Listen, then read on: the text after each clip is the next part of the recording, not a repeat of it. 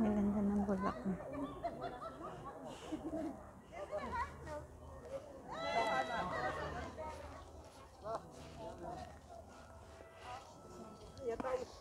Ang ganda ng mga bulaklak. Fresh yan.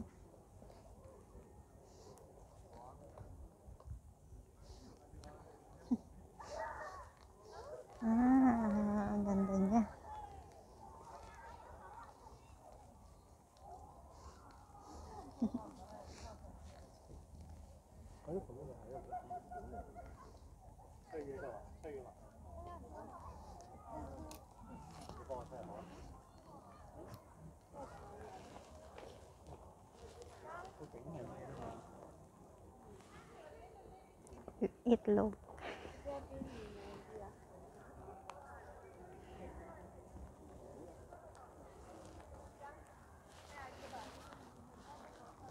Ang ganda ng pulang bulaklak.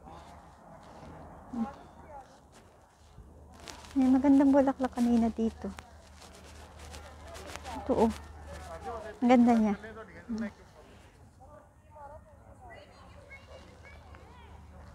Hmm.